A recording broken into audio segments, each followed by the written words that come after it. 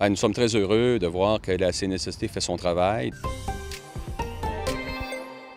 Bon mardi, Radio-Canada a appris que 76 constats d'infraction ont été remis à BRP en août dernier. Je vous rappelle que mon collègue Thomas Day, en février dernier, nous apprenait que le salaire des employés mexicains était moins élevé que celui des travailleurs québécois. La CNESST reproche entre autres à l'entreprise de Valcourt d'avoir versé des salaires qui ne respectent pas le salaire minimum légal.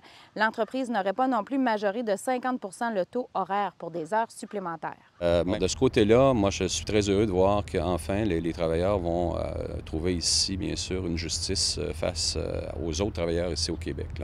BRP a refusé notre demande d'entrevue, a toutefois mentionné être en désaccord avec ces constats d'infraction et compte bien les contester. Maintenant, il y a la conseillère municipale du district de l'Hôtel-Dieu à Sherbrooke, Laure Le Tarte Lavoie, qui est enceinte de 17 semaines, mais elle soutient qu'il doit y avoir des changements apportés à la loi euh, concernant les congés parentaux et la politique municipale, puisque pour le moment, les conseillers municipaux ne peuvent s'absenter plus euh, de trois mois consécutifs des euh, conseils municipaux.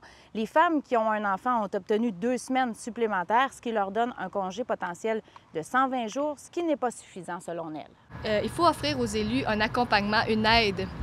Parce que toutes les demandes citoyennes, les appels, les courriels, tout ça, ça continue de rentrer. Il faudrait avoir un fonds, quelque chose du gouvernement qui permettrait d'engager quelqu'un. À Montréal, ils ont une politique où euh, les élus peuvent euh, se fournir, dans le fond, se payer une aide, une attachée, mais dans toutes les petites villes, c'est impossible pour eux de, faire quelque chose comme ça.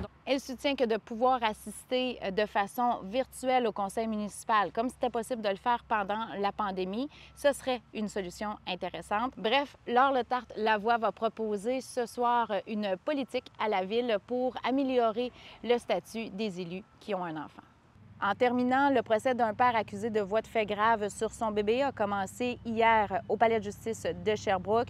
Donc, quelques jours après sa naissance, le poupon aurait subi d'importantes blessures. Donc, la médecin euh, présente à l'accouchement et celui qui a soigné le bébé à son arrivée à l'urgence quelques jours après sa venue au monde ont témoigné. La poursuite qui compte faire témoigner plus d'une dizaine d'autres personnes au cours des prochains jours. Là-dessus, c'est ce qui complète votre vidéo journal et je vous dis à demain. Bye bye.